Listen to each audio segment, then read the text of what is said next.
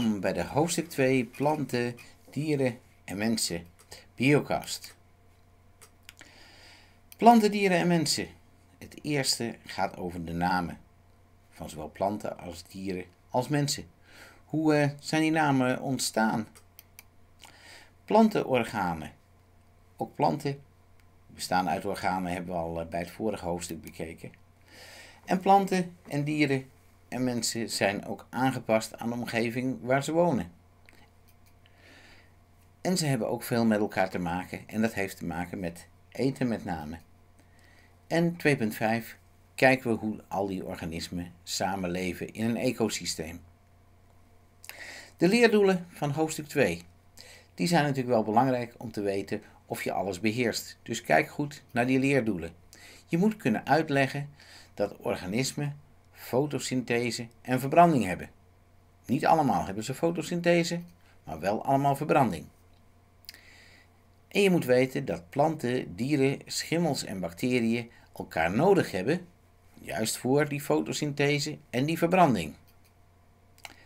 Je moet kunnen werken met een determinatietabel en met een zoekkaart. Nou, dat zal wel meevallen. Je moet kunnen uitleggen dat er verschillende soorten allemaal verschillende eigenschappen hebben, dus verschillende kenmerken. Je moet kunnen uitleggen hoe planten en dieren aangepast zijn aan hun leefomgeving en de manier waarop ze leven. We zijn nog niet klaar met de leerdoelen. Je moet ook nog weten en kunnen uitleggen wat een ecosysteem is.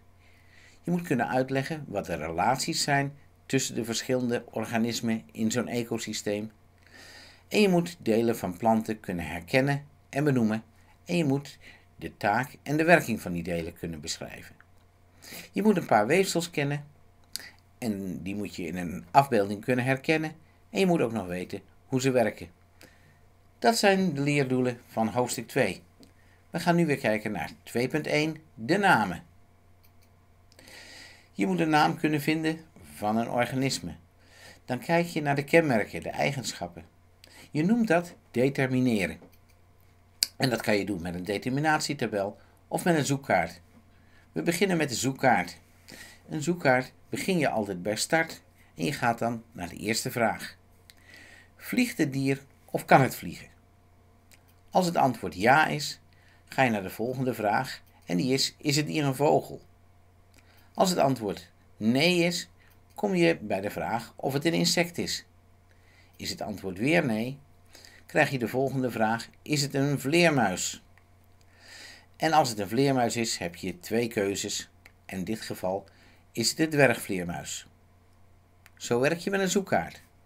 Wil je het iets officiëler doen, dan ga je het doen met een determinatietabel. En we gaan kijken naar deze plant. Een grote wortel, bladeren daarboven. En daar heb je de volgende vragen. Vraag 1a. Is de wortel dik en vlezig? Als dat is, dan ga je naar 2. Is het antwoord bij A geen ja, maar is de wortel dun? De bladeren worden als groente gegeten. Dan ben je bij 1b en dan ben je gelijk klaar, want dan is het de snijbiet. In ons geval is het 2, dus gaan we verder naar 2. Het is 1a, de wortel is dik en vlezig, dus we gaan naar 2. Een eetbare wortel, donkerrood. Nou, dat heb ik niet gezien. Bladeren met rode nerven ook niet. Maar de wortel geel, wit of roodachtig en de bladeren groen heb ik wel gezien. Dus we gaan naar 3. Een groot stuk van de wortel steekt boven de grond uit en de wortel is roodachtig. Nou, dat eerste heb ik natuurlijk niet kunnen zien bij dat plaatje, maar de wortel roodachtig klopt niet. Het is dus geen voederbiet. 3a, het grootste stuk van de wortel in de grond en de wortel is wit en er wordt gekweekt voor suiker. Het is een suikerbiet. Op die manier werk je met de determinatietabel. We gaan kijken naar uh, verschillende soorten. En wanneer is iets nou een soort? Als een mannetje en een vrouwtje vruchtbare nakomelingen kunnen krijgen.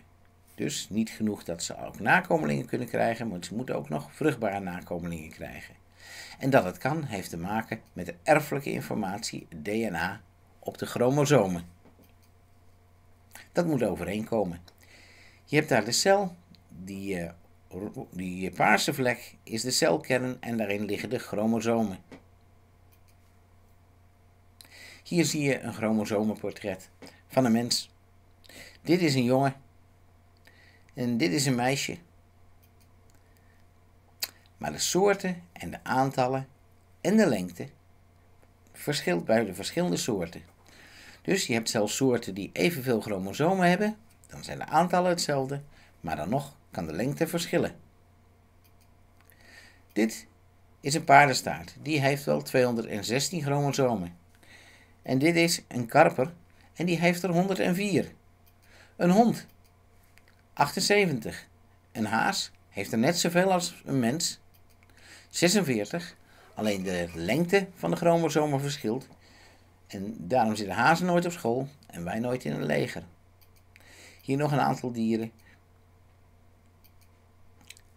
Hier links zie je een chihuahua. En dat is een hond.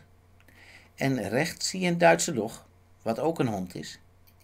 En die chihuahua en die Duitse dog kunnen samen pups krijgen. En die pups kunnen ook weer nakomelingen krijgen.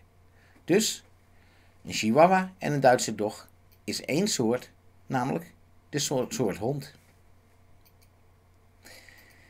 Dit is een, uh, een hengst en dit is een ezelin. En die kunnen samen nakomelingen krijgen. Een muilezel. Andersom kan het ook. Een mannetjesezel en een merrie. Die kunnen ook nakomelingen krijgen. Dat zijn muildieren. Maar een mannetjesmuildier en een vrouwtjesmuildier, die kunnen onderling geen vruchtbare nakomelingen krijgen. Dus een ezel en een paard behoren niet tot dezelfde soort. En een muildier is geen soort. En een muilezel natuurlijk ook niet. Hier zie je een eh, schilderij van Linnaeus, Carl Linnaeus. Hij heeft een systeem opgezet om alle planten en dieren een naam te geven die over heel de wereld hetzelfde is. Dat als iemand uh, praat over een uh, bepaalde soort in Nederland, dat hij dat ook weet in uh, Engeland wat je bedoelt, of in Japan. Want het is zelfs zo dat in, de, in één land er verschillende namen waren. En zelfs in Drenthe waren er verschillende namen voor dezelfde soorten. Bijvoorbeeld, wie weet wat dit voor plant is? Dit zijn drie namen voor dezelfde plant.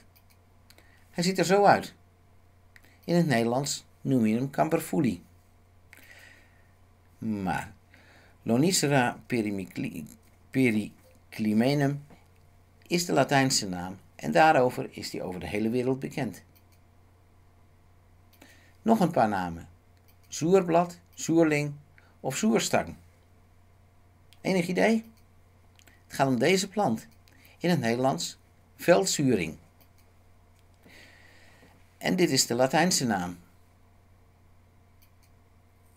We doen er nog een. Een kreuze, of een kroze, of een moskreuze. Het lijkt wel op elkaar. Herkent iemand hem hier? Dit is de kleine veenbes. Maar onder deze naam de hele wereld bekend. De laatste een meertbloem. Het zal dus wel een bloem zijn die in maart bloemt, bloeit. Een paasbloem.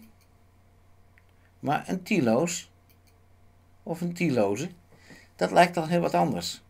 Het gaat allemaal om deze, de wilde narcis. Maar hier weer de Latijnse naam.